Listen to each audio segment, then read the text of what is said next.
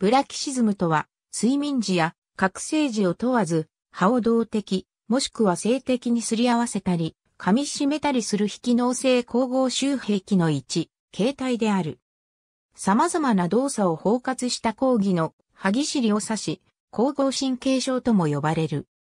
ブラキシズムは、老絶癖や高唇癖のような無意識、無目的に行われる異常周壁と同様のものであり、動作が行われる際には、咀嚼筋群の異常緊張と、それに伴う歯及び歯周組織への炎症性破壊、さらに顎関節への異常な負荷がかかることにより、関節円盤の転移などが生じる場合もある。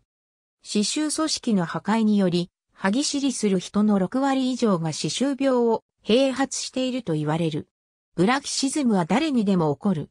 問題なのは頻度、強さ、持続時間である。知覚過敏、WSD、クフレ、歯周病、顎関節症の発症原因となり得る。ブラキシズムは、その動作形態により3つの型に分類されている。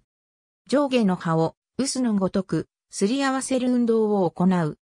ぎっしぎしと音を立て、口頭に異常な力が働くので、歯質の崩壊を招きやすい。睡眠時に多く、一般に呼ばれる、歯ぎしりは、グラインディングを指すことが多い。上下の歯を性的に強く噛み合わせる動作を言う。覚醒時に無意識に発現していることが多く、自覚症状はもちろん、多覚症状もほとんどないために発見が遅れることがある。上下の歯を動的にカチカチと噛み合わせる動作を言う。夜間のブラキシズムの出現頻度は8から16%、昼間のブラキシズムを含めると8から34%と報告されている。しかし一過性のブラキシズムや日による変動が大きいため、調査、評価は困難である。